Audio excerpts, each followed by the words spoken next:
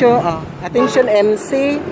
So, nag-leakage yun yung water there is somewhere in Bulacau, ah, boundary sa Bulacau, Talisay and Bulacau, Cebu City.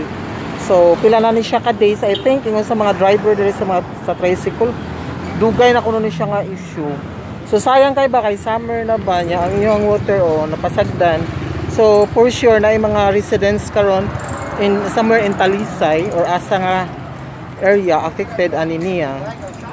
Ayan, so if you have time to check to check kay nga no sayang labi na summer karon. So ayan, taas kani siya nga area. Ganina dito ko og tabuno. So taas na kayo na yung tubig. So kailangan siguro siya quick response. And then I will show you where is the area uh, nag-origin ang leak. So pa-share sa mga affected din ha. So na mga area diya for sure nga napiktukan. So nara diri o. Mo ni siya John John no. Dudong no. Pero kusog siya di ba? Mm. So somewhere in Asia, no, boundary sa Bulacau, boundary sa Bulacau, Cebu City, Bulacau, Talisay. And uh, boundary sa Cebu City and boundary sa Talisay, Bulacau, Talisay. Pila na ka weeks? Pila na ka weeks? Ano eh? Pila na ni ka weeks?